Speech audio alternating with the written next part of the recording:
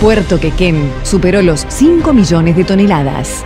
Con 35 embarques, en agosto se operó el mayor número mensual de buques.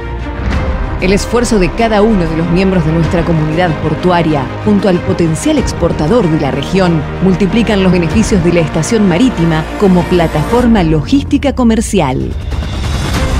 Puerto Quequén, el más profundo de Argentina.